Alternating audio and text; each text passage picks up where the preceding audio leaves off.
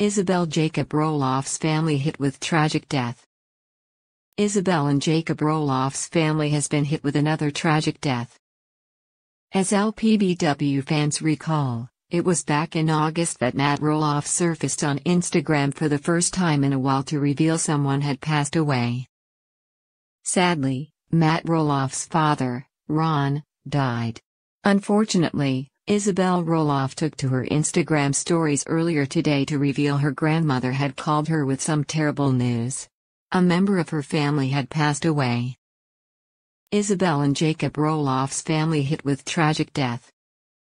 Jacob Roloff's wife took to her Instagram stories with a very somber update for her 133k followers.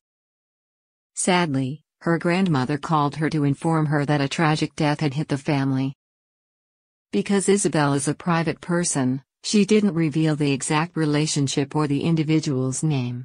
She, however, did reveal that she had a relative who died by suicide a few days ago.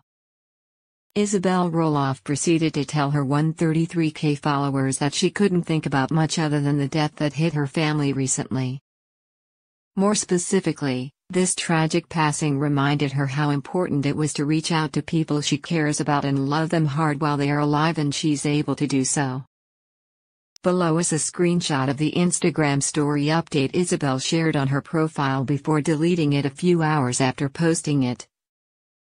Sadly, it is unclear why Isabel Roloff decided to delete the message after sharing it on her Instagram stories because it was only up for a few hours before disappearing from her stories. It means she deleted it as Instagram stories last 24 hours before expiring on their own. She's been having a hard time lately. As those who follow Jacob's beautiful wife Isabel on Instagram know, she's been having a pretty difficult time lately. Difficult enough that fans on multiple social media platforms have openly expressed concern for her well being.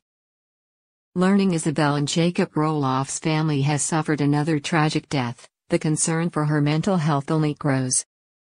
Prior to her decision to delete it, it appeared as if Isabel wanted her followers to use this sad story to not take advantage of the time they have left with their loved ones as it could be gone in the blink of an eye.